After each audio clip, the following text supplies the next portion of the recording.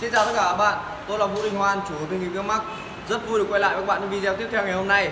Và như đã hứa video tiếp theo ngày hôm nay tôi sẽ chia sẻ với các bạn đó là về giáo án FST7 áp dụng nhóm cơ vai.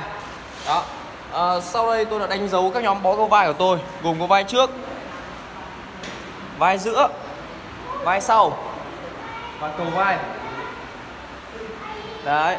Ok, cái việc đánh dấu các nhóm cơ như này thì để phân biệt cho các bạn uh, dễ mường tượng ra chính xác đây là khu vai trước, đây là khu vai giữa và đây là khu vai sau và các bài tập liên quan đến nhóm cơ này. Và bây giờ trước khi đi vào các bài tập thì tôi sẽ hướng dẫn các bạn trước trên giấy để các bạn dễ hình dung ra cũng như dễ ghi chép lại áp dụng cho bản thân. Thì ở cái giáo án này chúng tôi uh, tôi chỉ áp dụng có 5 bài thôi Thực tế thì bài vai có cực kỳ, kỳ nhiều bài tập nhưng mà tôi sẽ chỉ lọc ra năm bài tập này để áp dụng cho bản thân mình. Nội dung của cái phương pháp FST7 như thế nào tôi đã giới thiệu video trước. À, các bạn có thể hiểu được bản chất của nó là tập trung vào việc bơm đấy. Thì tôi đã hiểu giới thiệu việc ờ, video trước thì bây giờ là tôi sẽ đi vào các bài tập. Bài đầu tiên đó là bài bơm vai với tạ đơn. Đây. Tôi sẽ làm 4 hiệp. Tăng mức tạ dần và mỗi hiệp tôi sẽ nghỉ 90 giây. Đây tôi sẽ hướng dẫn qua động tác bơm tạ đơn nó sẽ vào vai trước, vai giữa. Nhiều nhất. Ok, và mỗi bài chỉ nghỉ 90 giây thôi các bạn nhá. Bài thứ hai, gõ búa với tạ bánh. Là tôi sẽ làm ba mức tạ 10 15 và 20 kg động tác như thế này. Đấy. Ok, các bạn có thể mường tượng ra thấy không ạ? Nó vào nó vào phần vai rất là nhiều. Nó vào cả phần vai này và cả phần cầu vai nữa, nó cũng kéo theo. Bài số 3 đó là vai sau với tạ đơn. Là bài lời cô lập toàn bộ vòng vai sau. Đấy, động tác này ở cái cái video kỹ thuật này thì tôi đã hướng dẫn các bạn rồi. Đó, các bạn có thể xem lại trên youtube. Ở bài video ờ, ở cái bài mà vai sau với tạ đơn này tôi chỉ làm 3 mức thôi. Mỗi mức sẽ nghỉ 90 giây. Đó. Bài thứ tư. Bài thứ tư sẽ là trung tâm của buổi tập. Đó chính là bay vai tạ đơn ở bài này tôi sẽ chọn mức tạ là 10 kg Tôi làm 7 lần. Mỗi lần 12 cái. Và mấu chốt của nó là mỗi một hiệp tôi chỉ nghỉ có 30 giây thôi. Cái việc nghỉ ít này sẽ hạn chế cái việc máu ở trong cơ Ở trong bó cơ của bạn thoát ra ngoài. Và luôn giữ được cái bó cơ lúc nào ở trạng thái phồng nhất, căng nhất Liên tục nhất trong 7 hiệp như thế. Để tác động làm sao kích thích cái nhóm cơ nó phồng ra Và nó làm giãn màng fascia từ trong ra ngoài. Để giúp các bạn có thể phát triển và phá vỡ cái màng đấy. Lưu ý ở cái bài này bài bài bay vai này các bạn có thể thay thế bằng cái bài uh, tương tự như bài bay cáp. Ví dụ như bài bay cáp như này chẳng hạn này. Đấy, kéo các bạn kéo sợi dây cáp này. Cũng là một bài có thể thay thế cho bài bay vai bởi vì sao? Khi chúng ta áp dụng cái bài trọng tâm này chúng ta thường tập cho những cái bài mà có thể cô lập các nhóm cơ. Ví dụ bài bay vai này tôi có thể cô lập nó thì tôi áp dụng. Bài kéo một cáp này bạn nào mà cô lập tốt bạn cũng có thể áp dụng và nó vẫn mang lại hiệu quả. Đấy là lưu ý nhá.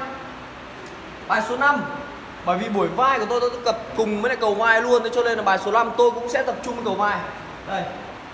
Cầu vai đây ạ. Toàn bộ phần tôi đánh dấu đây ạ. Các bạn có thể thấy. Cầu vai rất quan trọng. Và tôi sẽ tập cùng với buổi tập vai luôn. Bài tập, cầu vai này tôi sẽ tập với thanh xích sắt Mức tạ sẽ chỉ là 5 kg thôi. Tôi làm 7 lần và mỗi lần 12 cái. Nghỉ trong 30 giây. Đó. Đó là toàn bộ những cái ờ, bài tập trong buổi tập vai của tôi ngày hôm nay lưu ý, để tập được giáo án này, bài này tốt, thì trước khi tập các bạn phải ăn đủ, trước khoảng 1 tiếng 30 phút các bạn phải ăn đủ dinh dưỡng, đặc biệt là đủ cáp và ưu tiên cáp chậm để năng lượng nó giải phóng ra từ từ. Thứ hai, trong quá trình tập là phải uống đủ lít, đủ nước. Một buổi tập như thế này các bạn tối thiểu phải uống khoảng gần một lít hoặc một lít nước. Tùy theo trọng lượng cơ thể, nếu các bạn to lớn thì các bạn có thể uống hơn một lít nước trong buổi tập này.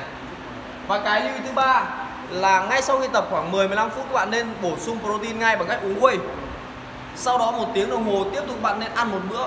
Gồm có whey à, gồm có protein uh, sơ phát cáp đó ok. Trong ngày các bạn nhớ uống nhiều nước và ngủ giấc. Rồi ok vậy là xong cái phần lý thuyết. Bây giờ chúng ta sẽ bước luôn vào bài tập và bắt nhịp với năm bài này luôn ạ. Xin mời tất cả các bạn.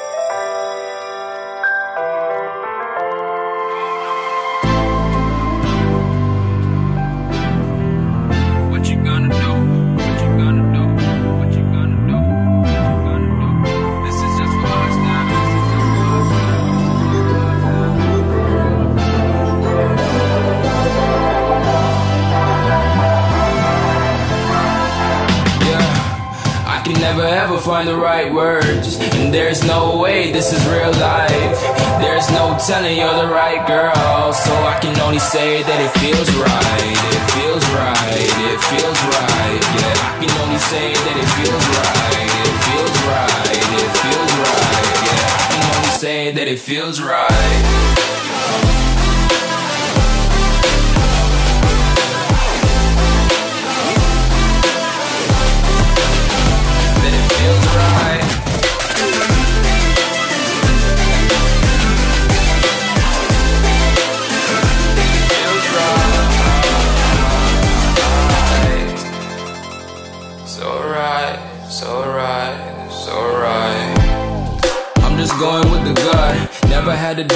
Like this is just a must. Put me in perspective, I'm the deepest in the cut. Everybody tuning in, but this is just for us now. We know I ain't ballin' yet. Hoes wanna holler, oh no, I don't call them back. Girl, let me see you hold it down, we gon' have a blast. Cause I just wanna know what you gonna do with all of that. Ain't gotta say a word. I know what's up, you can have it all. Watch me rip it off. I'll admit it, you got me feeling hella love. Even when it's going down, know that we gon' live it up. Young shot caller, always been a baller. Know that you the one, I can feel it in my heart, yeah. I won't stop charging me, go and come harder. I can see you and I, way beyond the stars, girl. I can never ever find the right words. And there's no way this is real life. There's no telling you're the right girl. So I can only say that it feels right. It feels